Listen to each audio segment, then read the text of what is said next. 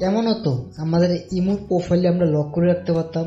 হ্যাঁ গাইস আজকে আমি আপনাদের ইমোর চারটি সেটিং দেখাবো।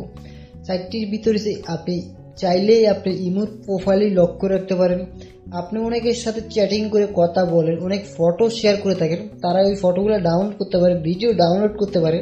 আপনি চাইলে ওগুলো ডাউনলোড করে স্টপ করে দিতে পারেন। মানে আপনি ফটো পাঠাইলেন, ভুলবশত একটি থেকে আরেকটি গেছে কেন চাইলে আপনি বন্ধ করে দিতে পারেন সেই ডাউনলোড করতে পারবেন না।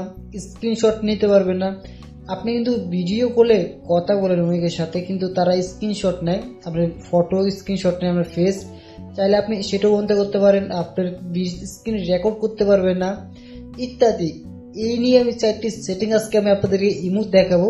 তো কেউ মিস করুন এই ভিডিওটি শিখতে চাইলে দেখতে হবে পুরো এই ভিডিওটি তো আরেকটি কথা বলে দিই, যদি আপনাদের ইমো আপডেট না থাকে, অবশ্যই আপডেট করে নিতে হবে। কেননা আপডেট না করলে এই কাজটা আপনি কখনোই করতে পারবেন না। ইমো আপনার আপডেট লাগবে। কেন কিছুদিন আগে আপডেট এসেছে আপনি সব আপডেট দিয়ে নেবেন, দেখলে পাবেন। তো আপনি ক্লিক করবেন ফটোতে যেখানে আপনার লোগো দেখা যেতেছে আপনার লোগোর উপরে ক্লিক করলে ক্লিক করে দিলাম আমার লোগোর উপরে। তারপরে দুই নাম্বারের সেটিংটি আছে। এই অপশনের উপরে ক্লিক করবেন। আসার পর অতি ফার্স্টে যেটা আছে, ওটা উপরে ক্লিক করে দিব। ক্লিক করার পর এখানে আমাদের দুইটি অপশন আছে।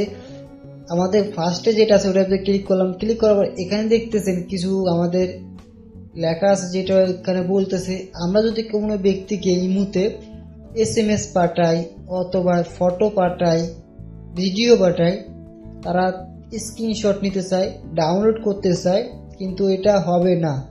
আপনি এখানে একটি অপশন আছে যেটা এটা চালু করে দিলে এটা হবে না। তারা আপনার যার সাথে কথা বলেন না কেন, তার সাথে চ্যাটিং করেন না কেন, ভুলবশত কোনো ফটো যদি চলল যায়, সে ডাউনলোড করতে পারবে না স্ক্রিনশটও নিতে পারবে না।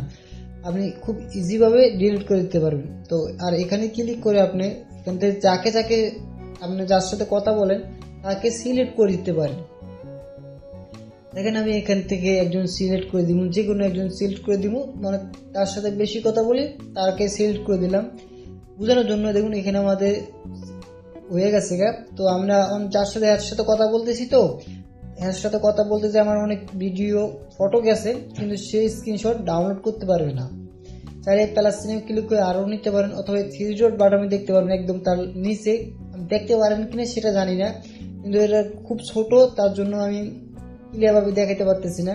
তো আপনি যখন এখানে আসবেন একদম কোনটা দেখেন এই যে থ্রি ডট এখানে রিমুভ টম একটি অপশন আছে ক্লিক করলে সে ডিলিট হয়ে যাবে। ওকে ডিলিট হওয়ার পর আপনি নিচে যে দুই নাম্বার অপশনটি যেটা আছে, এটা। এটা যদি আপনি সরাসরি ভিডিও কলে কথা বলেন, তারা যদি স্ক্রিনশট নিতে চায়, পারবে না। আপনি সরাসরি ভিডিও কার সাথে কথা বলতেছেন সেই কিন্তু আপনি স্ক্রিনশট নিতে চাইতেছে, কিন্তু পারবে না সেই স্ক্রিনশট নিতে। এই অপশনে যদি চালু করে দেন, তাহলে হবে না কখনো নিতে পারবে না।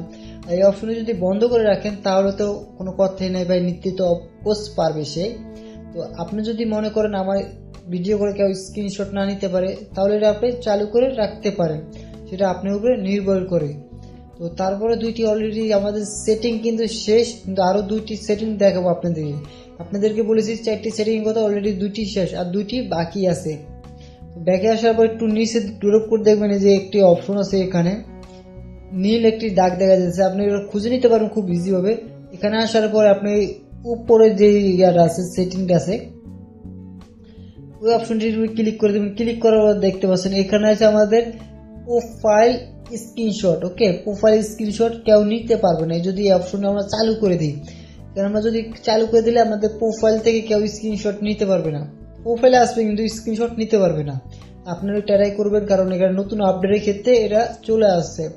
এটা চালু করে দিলাম, দেখুন, এবার আমাদের প্রোফাইল থেকে কেউ স্ক্রিনশট নিতে পারবে না। যদি বন্ধ করে রাখি, তাহলে অফকোর্স নিতে পারবে সবাই।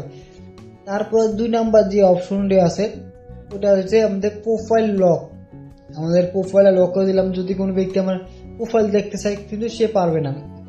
এই অপশনটি যদি চালু করে দিই, তাহলে পারবে না। অপশনটি যদি বন্ধ রাখি অফকোর্স পাবে।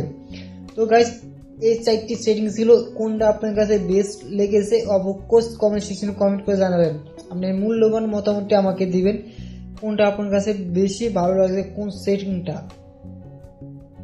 তো গাইস ভিডিওটি যদি ভালো লেগে থাকে অফকোর্স লাইক করবেন শেয়ার করবেন, আর আপনাদের বন্ধুদের মাঝে শেয়ার করে দিবেন। সবাই ভালো থাকুন, সুস্থ থাকুন সে কেমন করি। আল্লাহ হাফেজ